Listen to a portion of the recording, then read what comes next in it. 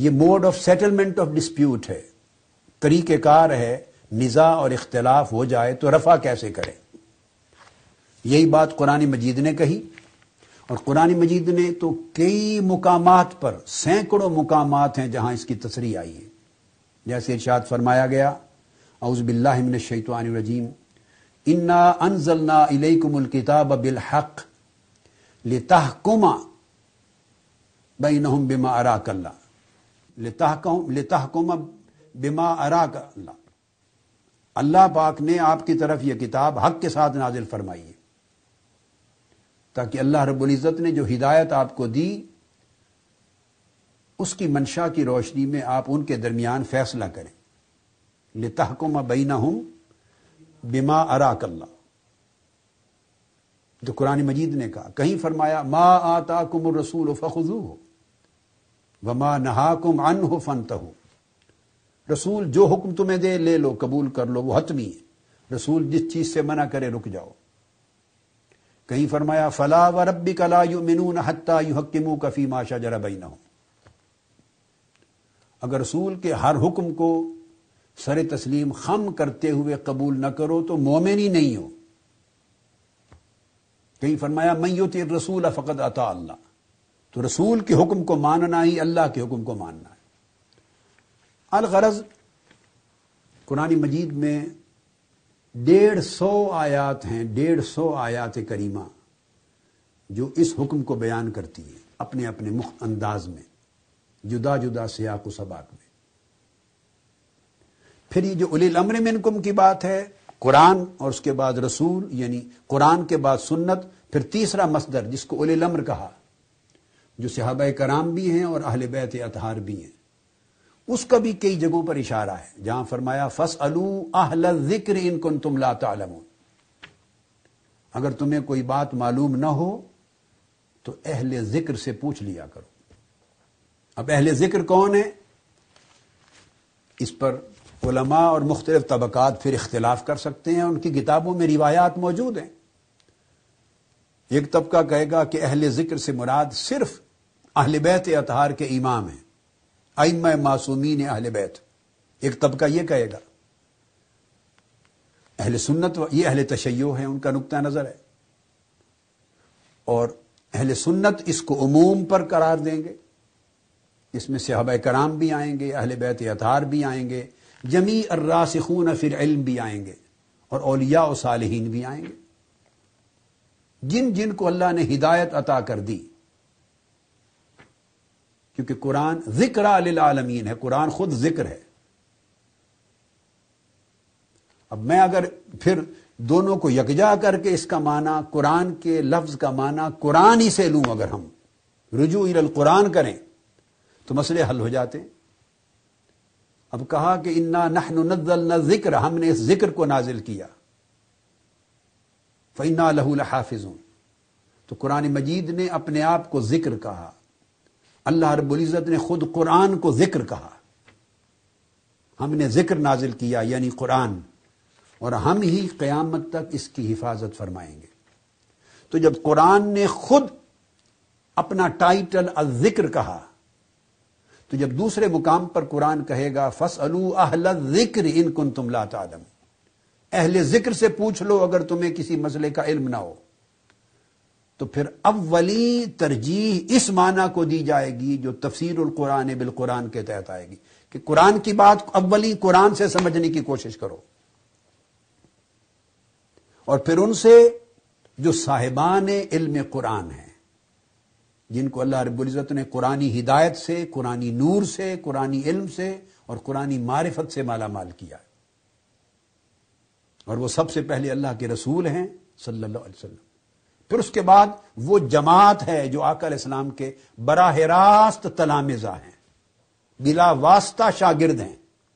और बिला वास्ता तलामिजा आकल इस्लाम की ज़ुबान मुबारक से बराह रास्त सुनने वाले, बिला वास्ता इस्तेमा करने वाले, इस्तेफादा करने वाले, बिला वास्ता तालीम लेने वाले, तरबियत पाने वाले, बगैर वास्ते के डायरेक्टली आका की सोहबत से बैठ के दीन को समझने वाले वो कौन है? यही जमात है, जमात सहाबा कराम। और आका इस्लाम की अहल बैत अतहार। ये सब एक ही जमात है। टाइटल दो हो जाते हैं।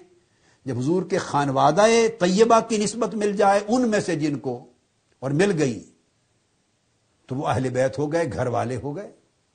बकाया उसी तरह सहाबा रहे। मैंने अर्ज़ किया था, उमूम खसूस मिन वजहन की नस्बत है। है सारे एक ही कुल्लियत का हिस्सा है।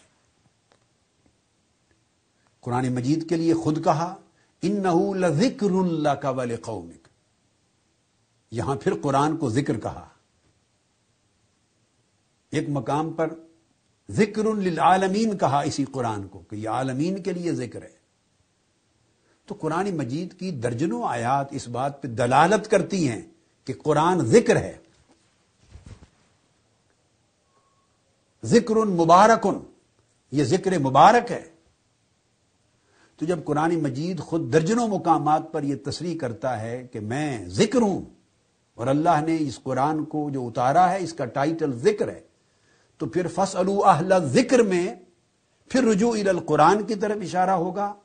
और चूँकि अहला ज़िक्र है, ज़िक्र वालों से पूछ लो तो इसका मतलब है अल्लाह के रसूल से, और जो अल्लाह के रसूल के तैयार किए हुए तलामिजा हैं, जिनको कुरान का इल्म है, उनसे पूछ लो। फिर नसलन बादा नसलन फिर आगे उलमा ओलिया सूफिया, उरफा, सब आते रहेंगे इसी में। तो ये तो कुरान मजीद का बुनियादी कायदा है। कुरान और अहल कुरान से पूछ लो।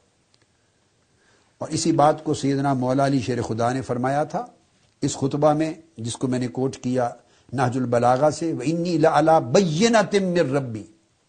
मैं अपने रब की तरफ़ से सरी दलील बैना पर हूँ। कुरान मजीद अपने आप को तबयीन और बैना भी कहता है। खुद कुरान मजीद में। बैना भी कहता है अपने आप को। अल्लाह पाक ने फरमाया, ये है। कहीं फरमाता, ये तबयीन है। कहीं फरमाया, ये तिबियान है। तिबियान अल्लकुल्ल शय तो ये सब कुरान मजीद के टाइटल हैं बैना अतिबियान अतबीन ये कुरान के टाइटल हैं, खुद कुरान मजीद में। तो फरमाया, मैं एक तो सबसे पहले, मेरा तरीक मेरा मसलक मौला अली शेर खुदा फरमा रहे हैं। और मेरे यहाँ उमूर को मूर दीन को तय करने का उसलूब पहला कायदा उसूल कुरान है बैन तिम रबी दूसरा मिनहाज मिन नबी जी मिनहाज नबवी सल्लल्लाहु वसल्लम। आकल इस्लाम की सुन्नत और सीरत आकल इस्लाम की हदीस आकल इस्लाम का उसवा मुबारक। यह मिनहाज नबुवत है। उसके बाद फरमाते हैं, मिनहाज नबुवत की आगे तशरी चाहनी हो तो फिर दो तबके हैं उनसे सीखो। ये मौला अली शेर खुदा फरमा रहे हैं। उनजुरू अहला बैत नबी कुम अलजमू समता हूँ वतबऊ असर हूँ एक तबका अहल बैत का है, उनसे सीखो। अगर तशरी चाहिए मिनहाज नबुवत की और बैन कुरान की। और दूसरा तबका इसी खुतबा में मुतसिल अहल बैत के ज़िक्र के साथ सहाबा का ज़िक्र किया है। अब यहाँ एक बात जो कल मैंने नहीं की, एक दो जुमले हैं इंपॉर्टेंट अगर तो मुराद अहल बैत से सिर्फ़ वही लोग ही मौला अली शेर खुदा की निगाह में होते जो अहल बैत अतार के नफूस कुदसिया हैं, या मजीद उनके साथ दो, चार, दस, बारह अफराद और हैं जिनको माज अल्लाह ये समझा जाता है कि बस यही थे जिनके ईमान बच गए। और वो सिहाबी कहलाए। बाकी माज अल्लाह माज अल्लाह अस्तफिरल्ला अगर सब उनको मुनाफिक तस्वुर कर दिया जाए माज अल्लाह मुर्तदीन तस्वुर कर दिया जाए, दायरा इस्लाम से खारिज साजिशी बना दिया जाए अस्तफिरल्ला अजीम तो सोचने की बात होगी तो मौला अली शेर खुदा किन की बात कर रहे हैं यहाँ? फरमाते हैं, लकद रही तो असाब मोहम्मद फमारा अहदन मिनकुम युश बेहुम फिर तफसील मजमून है जो मैं कल बयान कर चुका हूँ। मुकम्मल बयान कर चुका हूँ कल उस तफसील मजमून इसका कि मैंने असाब मोहम्मद को देखा है और तुम में से कोई भी, तुम में से कोई भी उन जैसा नज़र नहीं आता, उनकी मिसल कोई भी नज़र नहीं आता तुम में से आज। उनको अपनाओ। तो आपने देखा कि कुरान के ज़िक्र के साथ मुतसिलन सुन्नत नबवी का ज़िक्र, फिर मुतसिलन अहल बैद का ज़िक्र, फिर मुतसिलन असाब मोहम्मद का ज़िक्र, सल्लल्लाहु अलैहि वसल्लम। खुद सोचिए कि क्या मुराद है मौला अली